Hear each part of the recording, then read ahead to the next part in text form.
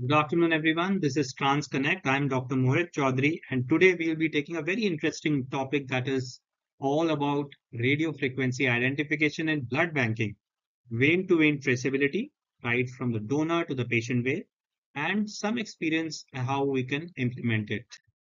So, what is RFID? RFID or radio frequency identification is a method of uniquely identifying items that use electromagnetic radio waves that is the wireless air interface to interact and exchange data between tags and readers. So basically you have an electromagnetic air interface. It is wireless and you are interacting between the tag that is placed on the back and an antenna and a reader which is going to access the information from it. So what are these transponder tags?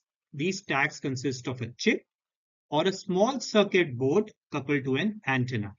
So they all have a unique tag identification number or the UID and these are various types of tags that is the paper tag, you can have an EPC tag, glue tag, metal tag, etc. So these transponder tags are of three types that is passive, semi-passive or active. So what does that mean? Passive is mostly widely used in the blood bags that store the information. You can have a semi-passive or a semi-active which can analyze, measure and store and then there's an active available all as well, which you can measure, analyze, store, send information, take back information, etc. Similarly, what are these readers? These readers are the ones that are going to read the information that is present on the tag and they have an antenna that sends and receives electromagnetic waves to exchange the data between the tag. So they have the power, uh, they can read and show the tag information only and includes a processor to run the software. They are fixed reader, they are handheld reader or mobile reader, depending upon what you have. And uh, so basically these readers also have an antenna which is going to fetch the information from the data that is present on the tags. So the which frequency does it work on? There are three frequencies that is low, high and ultra high. So high frequency is what is recommended for blood products and it is around 13.56 megahertz. So coming to RFID, we have seen in various areas now, what does RFID solution mean in transfusion medicine? Basically, it is implementation of RFID in healthcare to, and there is a desire to improve the patient safety and enhance the efficiency of the supply chain.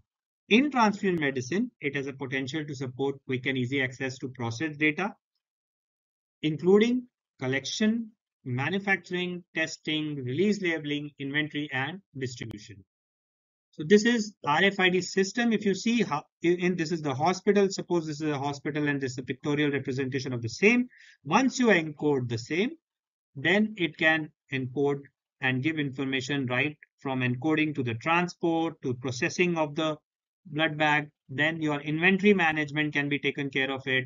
And all the way to the patient safety, you can have a vein-to-vein -vein link. Also, the data that is transported or transferred can be used for analysis. You can see where it is being transfused, the blood is where, when was it issued, what time it took to you uh, for the whole transfusion to take place. So all of the data can be, you know, taken after a month or say after a week and you can analyze it, present it and use it for your own say. So this is a very handy system and this has an end-to-end -end tracking solution. So coming to various aspects of where it is useful, you can have donor identifying identification cards, which can itself carry the barcodes and you can have an integrated RFID chips into such cards, which so there can be data storage and replacement of photograph, history, address, everything can be replaced with just an RFID chip. There can be a processed monitoring, that is, there can be an RFID reader in donor management system and collection devices like mixing scale, apheresis device, etc a blood product management, if you see, you can have this area offering a great possibility for process improvement. If the tag is applied to the blood bag, there is a potential to uh, facilitate the product identification during collection and throughout the life cycle of the blood bag, right from collection, processing, distribution to monitoring, storage, and distribution to the patient. If you see the donation process itself, the blood bag system with integrated RFID labels are not available. Tags could be added at the collection site. So during the donation process, you can monitor the same, the user, the time and the date, the collection period, all of that can be in that RFID chip. In the processing, if you see, it allows automatic identification of the bags with the read range. You can perform concurrent manual activities and there can be an automatic detection of units that can improve the efficiency and documentation of manufacturing stages. During the storage, if you see, it can have a quality or security check. We can have monitoring that is more easy. Product turnover can be made easily managed. There is receipt of bulk delivery. Suppose you're receiving some bulk deliveries from other hospitals or other institution that can be all generated through a RFID chip and all of that can come to your computer with just a click away. The use of semi-active labels with temperature monitoring allows product to be monitored during the transportation as well transfusion management if you, itself, if you see for the collection of pre-transfusion blood sample and transfusion of blood at the bedside, the RFID are very handy. So you can see that all this is interlinked and end-to-end -end solution in which the user gets a real-time access to the product characteristics and data from time to time from when it is collected and prepared to the time it is administered to the patient. So once you tag these bags with RFID, there is a linking of these equipment and software and all the way to the patient bedside, you can have a vein-to-vein system. So how to start whenever you're trying to implement an RFID, it involves a few stages and if you, you can follow your own process, but this is a, a, a ready reckoner for you. So basically you can do an initial brainstorming, all of you multidisciplinary team have to come together, which involves transfusion medicine experts, nursing, marketing, quality, medicine, medical, doctors, all of them can come together to discuss the feasibility if it is even feasible at your center or not. You can associate with the company that is Biolog ID, which is providing the RFID enabled tags presently, and then you can begin the deployment in phases. So that is what we recommend. So once you deploy in one phase, suppose you implement in one ward or one unit, which is a high throughput ward, you can gradually move upscale and you can implement it in other areas. So implementation method methodology, if you see, we have the phase one, which you assess. Phase two is prototype. Phase three, if you run a pilot. And phase four is when you deploy the same. So this is what happens when you start with the process. This is how we did it. So any blood center, if you see the whole blood is obtained from the donor and the components are prepared, and that is where we kept the RFID tag, which is on the blood bag. So this is the RFID tag that is stuck on the product. This is with nil details and is added to the bag at the center. Once you do that, the RFID reader reads the tag and is ready to receive the information that is fed. So basically you can write the product code, the blood group, the expiry date. So the bag with the tag stuck on it is placed on the reader tray and details such as component type, unit number, blood group, expiry date are provided. And once it is fed, that becomes the identity or unique identification of the blood bag. Now, once that is kept, the blood bags are stored in the refrigerator with labeled location. Now, uh, you will notice this blood blood refrigerator is a little different because the have the trays have been you know replaced with these different trays which can read the blood bags. So each position can be read. The cabinet and the rack and the tray at which the specific component is present is instantly available on display and it is read by the antenna or the reader that is present below it. So cold chain strict policy, the fridge automatically senses that a component once played and taken for, for cross match.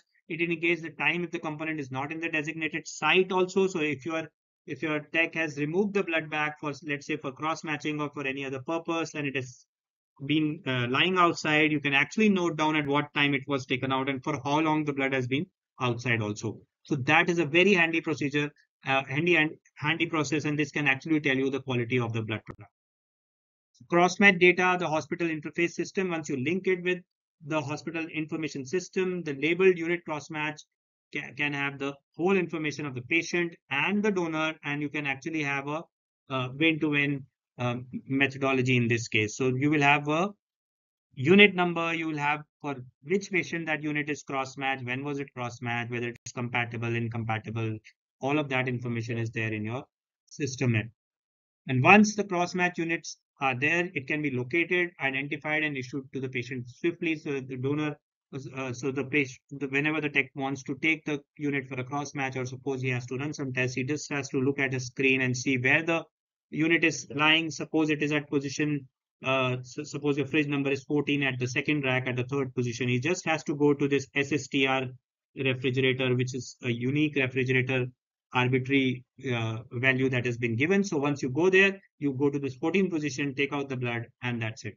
So you can also see these green and the yellow uh, things, which are basically the status with the time. So basically this unit, which was O group, was taken out for a while, and that's why the color has changed. This is, however, been inside the refrigerator, and that's why it is still green and good to go. So depending upon for how long you want to uh, keep this alarm based on the color code, you can do that. Bedside, every patient has a unique number. So once your system is linked with the hospital interface system, so basically you can link it with the patient through these barcodes and which are already there, which depicts the patient's UHID number. So once the RFID and barcode bed scanner is used, the, it is turned on, a unique password is there. So basically you can uh, you can allot a single PDA device or a, or a barcode reader for each unit or each ward and all can have a different password. So once you have a unique password, obviously uh, others can't use it to initiate, initiate the transfusion. Then you begin a transfusion start is the process that you do here. You can see the start button, just press the start button. It's like a mobile device and you can just press the start. So once that happens, it will say scan the patients. The scan is through the reader that is already present and the reader requires the barcode of the patient, which is available in the wristband or IP file at the bedside. The product is then scanned for identification and if both the things are matching, then it, the reader will indicate it's a match, prompting to proceed for the transfusion. So to end the transfusion, similarly, there is a stop key that is provided and the device asks for reconfirmation before it does end the transfusion. So this causes a real-time tracking of transfusion, starting, ongoing, and ending. So you can have a start date, when it started, where it started, which ward it is, and ended at what time. So basically, you know that every transfusion should be ended within four hours of uh, starting. So you can even monitor that aspect as a quality parameter in your hospital. So this is a study that had been done in a hospital and they found out that the impact of this RFID when you just on the blood bank inventory, if you see, because you have to make the stocks every time there is a uh, there is a process of making stocks manually. So once you do that, the number of man hours that were earlier used in a year were 1100 and actually it has gone down to uh, 19 hours per year. So huge, huge uh, impact on implementation, especially on the inventory management. Similarly, other benefits are there and uh, there are some tangible benefits like bulk reading.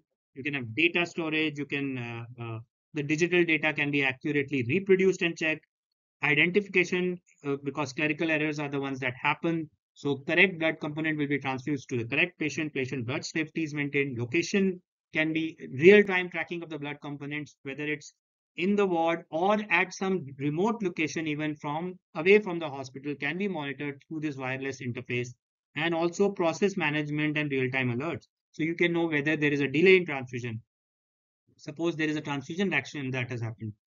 When was the transfusion started? When the transfusion ended? Or if there was any problem that had occurred that can be uh, there. And also now the, the, there is a provision of having a transfusion card at the bedside. So if everything goes well, you can even enter the parameters like the, the vitals, the blood pressure, the temperature, the pulse, and all of that can be monitored. And you can, by a click, generate a transfusion card at the bedside, which can be stored in the patient's file. So all of this has got numerous benefits. And as a transfusion medicine specialist, I feel this is a boon to the transfusion medicine and should actually improve the blood transfusion supply uh, at a very, very great length. So I hope RFID, which is the digitization of the process, should pave way and have more popularity in the Indian scenarios. And I fully advocate the same. Thank you so much. Hope this was beneficial to all of you. If there is any questions or anything you want to ask about this, uh, you can always write in the chat box. Thank you so much.